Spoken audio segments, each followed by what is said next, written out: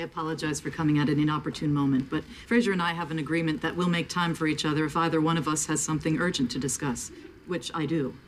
Take all the time you need. This whole thing's just a little too complicated for me.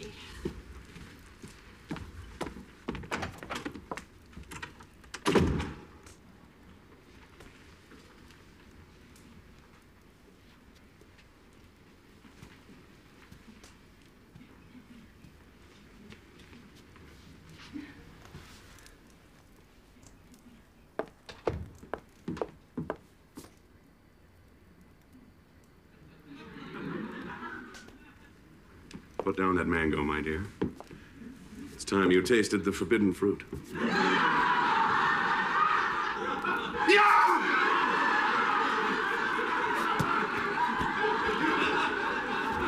Lilith!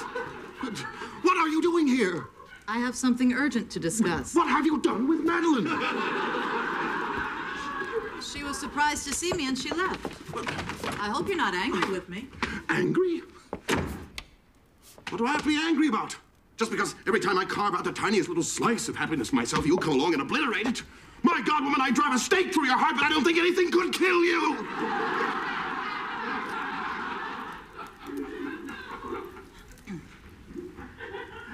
Brian asked me to marry him. What? He wants to stop in Las Vegas on our way home. You're getting married? Yes. Well, so am I. Really? Yes, yes, to Madeline. Well, I just saw Madeline. She seemed in an awful hurry for someone who's getting married. She had to buy a dress.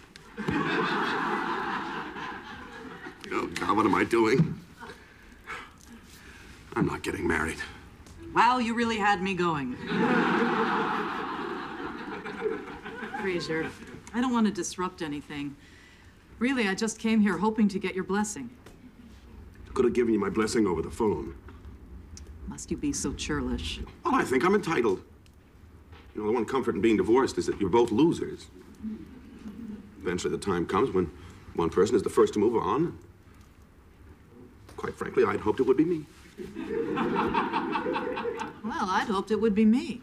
And it was. But I'd like to think that had things worked out the other way around, I would have been happy for you. Well, if you love him, I am happy for you. I do.